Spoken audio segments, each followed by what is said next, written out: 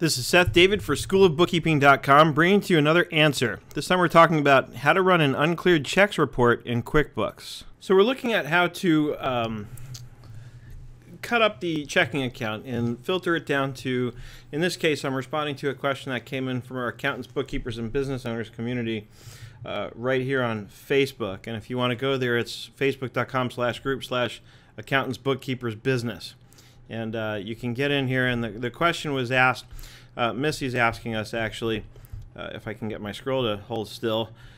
Um, she wants to uh, get a report that shows a list of outstanding checks uh, in a report format, not just through the reconcile screen. And uh, later on, she clarifies that she would like to only have checks showing with a running balance. So when, when we want to have a running balance, you really need to run the report from the balance sheet and then double click the account.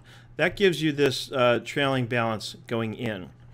And then what we want to do is customize the report.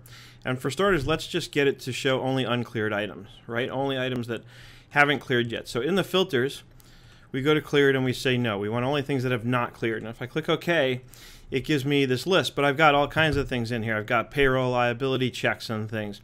Um, and she says checks, but I'm not 100% clear if uh, if it's just straight straight checks with a check number or or if these should be included. So just in case, we're going to do a couple more things to get this report sort of uh, chiseled down further. And you'll notice, of course, that in this cleared column, uh, nothing is checked off. So let's go back to customize. And we're going to do a few things. First of all, we're going to get it into a single column because if we're only looking at checks, then I don't need debit and credit here. I can deal with just a single amount column and of course the balance.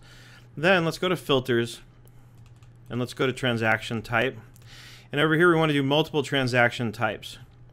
I want checks, right? I don't want deposits, invoices, sales receipts. Put a payment in there because I'm honestly not sure. I forget what exactly what kind of payment they're talking about. It might be a customer payment. Won't matter if it is. Um, then we want, uh, where is it? A bill payment, because that's really a check also that just happened to be a check that was used to pay a bill. Uh, payroll liability check. I'll check that off, assuming that that is what you want. If, if it's not something that you want, then just don't check it off. But here we're handpicking the types of transactions that we want appearing on this report.